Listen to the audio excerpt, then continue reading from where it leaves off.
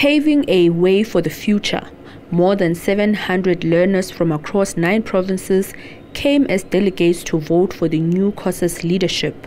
They raised issues of dilapidated toilets and abuse in schools and say these should be resolved by a stronger organization. They hope learners will now be more coordinated. Congress of South African Students is an organization, is a student organization which, which students that are, that are in high school and has, and has helped many students in Northwest, especially here in Northwest.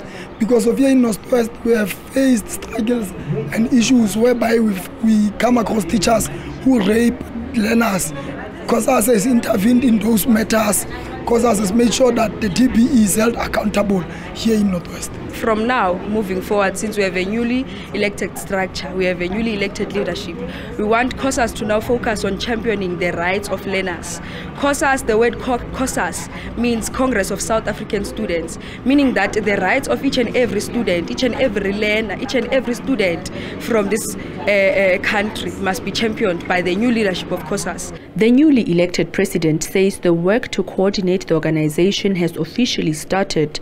The learner from Ikati Zone Secondary in Northwest says the organization should go back to basics and be led by learners. The, the newly elected uh, 20th uh, National Executive Committee of COSAS, we've taken the resolutions that COSAS must go back to its basics.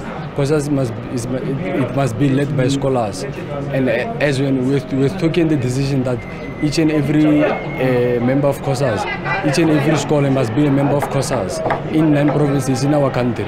And we must make sure that all learners in, the, in our country are protected. And as the, as the COSAS, we must make sure that all, all, all learners in, in our country they must be protected by, the, by this organization. Some provinces, including Limpopo, called for the resignation of the basic education minister for her failure to attend the signing of the BELA bill into law.